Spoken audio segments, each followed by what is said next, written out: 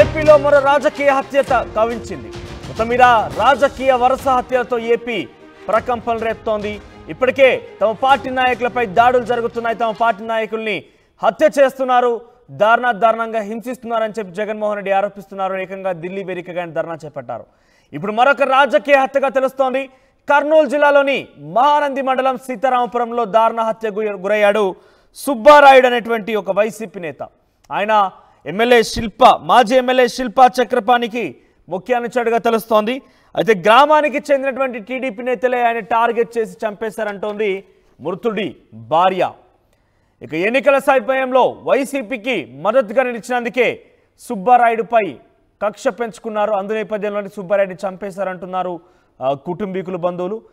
ఇక మృతుడు సుబ్బారాయుడు మాజీ ఎమ్మెల్యే శిల్పా చక్ర అనుచరుడుగా తెలుస్తోంది. గ్రామంలో పికెట్ ఏర్పాటు చేశారు పోలీసులు. ప్రస్తుతం పోస్ట్ మార్టం నిమిత్తం మృతదేహాన్ని నంద్యాల ఆసుపత్రి తరలించారు. కేసు నమోదు చేశారు. పోలీసులు దర్యాప్తు చేస్తున్నారు. సో మరొక రాజకీయ హత్యతో ఏపీలో మరొక ప్రకంపనలు రేపే అవకాశం కనబడుతోంది. వైసీపీ నేత సుబ్బరాయుడిని హత్య చేశారు.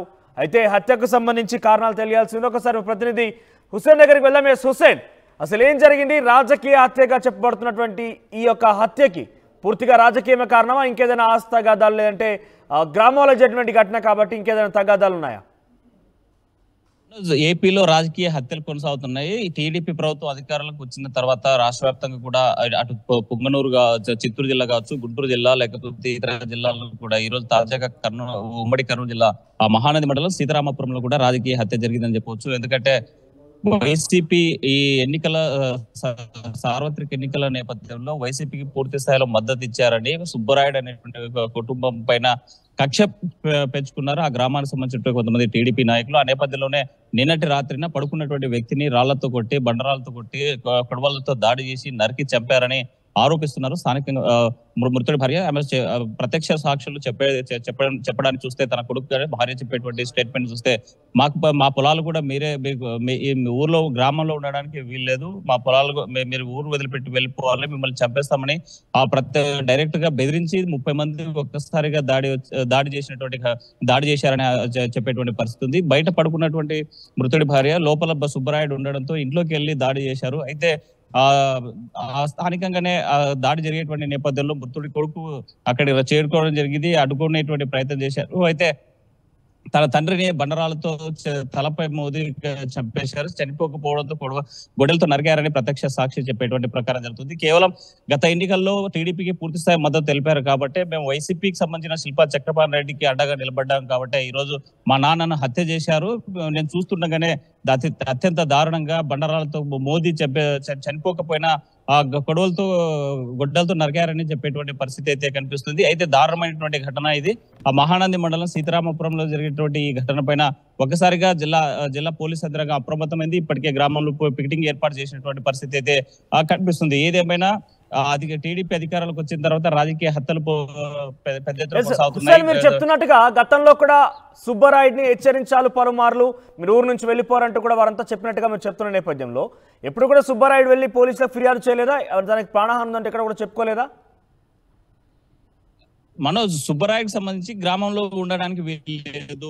మీరు గ్రామం వదిలిపెట్టి వెళ్ళాలి అనేసి అనేక సందర్భాల్లో హెచ్చరించినప్పటికీ అయితే గ్రామంలో ఉన్నటువంటి తన పొలాలను వదలలేక తనకు అక్కడే జీవనాధారమైనటువంటి భూమిని సాగు చేసుకోవాలి కాబట్టి ఊరు వెళ్ళ వదిలి వెళ్ళిపోయి వెళ్ళినటువంటి పరిస్థితి. ఆ నేపథ్యంలోనే నిన్న రాత్రి జరిగే నిన్న రాత్రి గొడవకు వచ్చినటువంటి సందర్భంలో మా పొలాలు కూడా మీరే వేసుకోండి మాకు అవసరం లేదు మేము వెళ్ళిపోతామని భార్య చెబుతా ఉన్నా కూడా వినకుండా ముప్పై మంది దాడి చేశారు. స్థానికంగా ఉన్నటువంటి టీడీపీ నాయకులే వాళ్ళ పేర్లు కూడా స్పష్టంగా చెప్పేటువంటి పరిస్థితి ఉంది. తన కొడుకు జరిగే ఘటన జరిగేటువంటి సమయంలో సెల్ ఫోన్స్ నేను చిత్రీకరించి చిత్రీకరించలేకపోయినా అది రాత్రి జరిగేటువంటి గొడవ.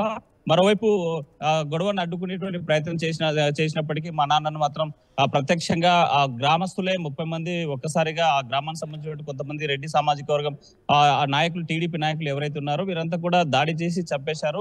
బండరాలతో మోదారని స్పష్టంగా చెప్పేటువంటి పరిస్థితి ఉంది. రాజకీయ హత్యలకు కేర్ ఆఫ్గా మారుతుంది. ఏపీ మరి దీనిపైనే ప్రతిపక్ష నేత వైఎస్ జగన్మోహన్ రెడ్డి కూడా పెద్ద ఎత్తున కూడా ఆందోళన వ్యక్తం చేస్తున్నారు. ఢిల్లీ కేంద్రంగా కక్ష రాజకీయాలకు వ్యతిరేకంగా కూడా ఆందోళన చేసినటువంటి పరిస్థితి. మరోవైపు ప్రభుత్వం మాత్రం రాజకీయ రాజకీయ హత్యలు ఇవే కాదు కేవలం ఉద్దేశపూర్వకంగానే వైసీపీకి సంబంధించినటువంటి అధినేత జగన్మోహన్ రెడ్డి రాజకీయ కక్షలుగా మలిచేటువంటి ప్రయత్నం చేస్తున్నారని అదే సందర్భంలోనే ఆ టీడీపీ టీడీపీ ప్రభుత్వం కూడా ఎదురుదాడి చేసినటువంటి ఏదేమైనా మాత్రం నిన్న రో నిన్న నిన్న రాత్రి జరిగినటువంటి సుబ్బరాయుడు హత్య మాత్రం తప్పనిసరిగా రాజకీయ హత్యనే చెప్పుకోవచ్చు. ఎందుకంటే ప్రత్యక్ష సాక్షులు చెప్తున్నారు. సుబ్బరాయుడు సంబంధించిన భార్య కొడుకులు ఒకటే చెప్తున్నారు. ఇది రాజకీయంగా మేము కేవలం వైసీపీకి మద్దతు పలికాం కాబట్టి ఇలాంటి ఘటన జరిగింది. మా నాన్నను పొట్టన పెట్టుకున్నారు. హత్య చేశారు. హత్య చేశారని చెప్పేటువంటి పరిస్థితి. అయితే మృతునికి సంబంధించి చనిపోయినటువంటి డెడ్ బాడీని నంద్యాల ప్రభుత్వ ఆసుపత్రికి ఇచ్చే- తీసుకొచ్చారు. అక్కడ పంచనామా నిర్వహించేటువంటి పరిస్థితి అయితే కనిపిస్తుంది. గ్రామంలో మాత్రం పెద్ద ఎత్తున పికెటింగ్ కొనసాగిస్తున్నారు కొనసాగుతుంది. మనోజ్. రైట్ హుస్సేన్ సో మొత్తం మీద ఏపీలో మరొక రాజకీయ హత్య గావించింది. సో ఇప్పటికే రాజకీయ వరుస హత్యలతో ఏపీలో పెద్ద ఎత్తున సంచలనం రేపుతున్నాయి పెద్ద ఎత్తున ప్రకంపలు సృష్టిస్తున్నాయి. ఏకంగా ఢిల్లీకి తాకింది ఈ యొక్క పూర్తి స్థాయి ఏపీ రాజకీయాలకు సంబంధించి హత్య రాజకీయాలకు సంబంధించి ఒక ఈ యొక్క పూర్తి స్థాయి సమాచారం. సో ఇప్పటికే జగన్మోహన్ రెడ్డి పెద్ద ఎత్తున తమ పార్టీ నాయకుల మీద కార్యకర్తల మీద టీడీపీ వాళ్ళు పెద్ద ఎత్తున దారుణానికి ఒడిగడుతున్నారంటూ చెప్పడం జరిగింది. పెద్ద ఎత్తున ఆందోళన చెందారు. ఆయన ఢిల్లీలో ధర్నా కూడా చేపట్టారు. ఇప్పుడు అదే అటువంటి ఘటన మరొకటి కర్నూలు జిల్లాలో జరిగింది. మహానంది మండలం సీతారామపురంలో ఈ ఘటన జరిగింది.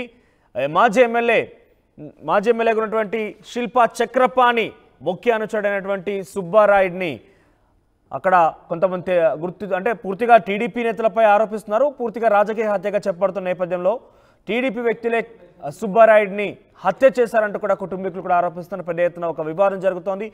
ఒకసారి ఆ కుటుంబీకులు ఏం మాట్లాడారు విందాం. ఏం జరిగిందా? ఆ, ఓటేసినందుకు మా నేరం సార్. ఓటేసినందుకు వైఎస్ఆర్లకు ఓటేసినందుకు మాకు శిక్ష. అంటే ఏం చేద్దాం ముప్పై మంది వచ్చి రాజకీయం వాళ్ళు వచ్చి "ఏయ్, ఇది సావలే సంతది నన్ను ఎవరు డిపార్ట్మెంట్లో ఉన్నాను నేను. నన్ను ఎవరు చెప్పలేదు. నేను గుండను నాకు విరోధం నాకు చేస్తారా మీరు అని రాత్రితో బండతో మూడు వారు నలభై సావలే అని కొట్టాను ముగ్గురు సార్. మొత్తం ముప్పై మంది సార్.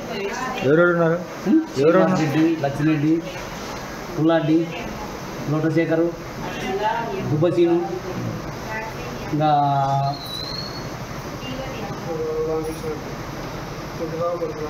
రామకృష్ణారెడ్డి.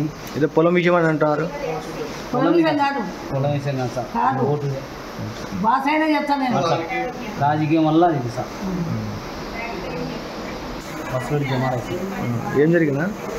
ఓటేసినందుకు మా నేరం సార్. ఓటే బయటనే పనుకున్నాను ఆయన. పనుకొస్తే ఏడవడానికి శుభ్రాలు అంటే లేదు నేను లేదంటారు అంటే అని ఏడు తీసుకొచ్చి ఈడ కొట్టినారు ఈడ కొట్టినారు. అంతా నేను నరికి నరుకుతానే చంపుతానని మా ఊళ్ళో నేను ఇద్దరు మొట్టగా పుల్లాటి ఎంత అయినా. ఇంకొక ఆయన దొడ్డి ఉడిపించినాను ఆయన. నా ముందనే కొట్టారు అంతా మా ఊరేళ్ళేనైనా కొత్తలు అంతా మా ఊరే ఆ ముసలిని చంపి ఏం చేస్తారు? ఎందుకు ఎవరు ఎవరు మా చంపింది? శ్రీనివాస్ రెడ్డి నా ముందుకు చంపుతారో ఏముంటుందో ఎప్పుడు చచ్చిపోతాడో ఎందుకు అట్లా ఓట్లేసి వాడు కాంగ్రెస్ కొన్నాము మా ఆయన తెలుగుదేశం. వేసినాము ఓట్లు. ఏం బా? ఓట్లేసినందుకమ్మా ఏం లేదు. ఆడికి ఒరే మా పిల్లలు పోయి ఉండలేని పదహైదు రోజులు ఉన్నాయి ఓట్లు మా ఓట్ల వల్ల మేమే తెచ్చిస్తాం దాన్ని పెన్నాన్ని ఎవరికి ఇవ్వకుండా. వేసుకోవడానికి కూడా అన్నాం. అంత చెప్పినామని మీరు. మీరు ఏ పార్టీ? నా కొడుకు ఆదాయం వల్ల పోయిందని మా వాడిని ముసలిని చంపుతాను ఆ ఎద్దుని ఎప్పుడు చంపుతారో? పెద్దమ్మ కాడ ఎవరు పడి కొట్టారు. ఎంతమంది వచ్చారు? ముప్పై మంది దాకా వచ్చినారు. నన్ను కొట్టినాక ఇంట్లో ఉండ్రి ఆ? ఇంట్లో ఎవరెవరు ఉన్నారు నేను నా మొగుడే ఉండేది. నేను బయట పడుకునే మంచి ఇంట్లో ఆ. అనుకుంటా మా ఊళ్ళన్నీ నేను చెప్తానని మా ఊళ్ళలో చెప్తానని ఈ మాట.